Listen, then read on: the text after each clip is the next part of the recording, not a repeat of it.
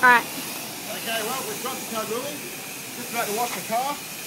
Right now, prefer to call it the bug graveyard, because that's pretty much what it is. If you come over here, hi Ben. Oh.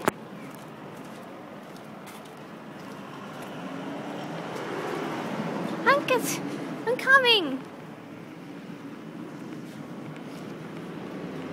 As you can see, the camo wagon has made it all the way to Kalgoorlie. We have now travelled 2,200 kilometres with only 600 kilometres to go back to Perth. However, we have developed a slight problem. If you look on the windscreen, you'll see some white dots.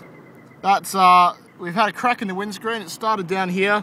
A rock hit underneath the windscreen wiper. It's proceeded up on both layers, and where we put the dots is where it was cracked to several times we've measured it. So uh, you can see it's progressing over about the last thousand k's. So hopefully it uh, will get back to Perth before it makes the other side of it. So that's our little check-in, and uh, I guess we'll see you all in Perth.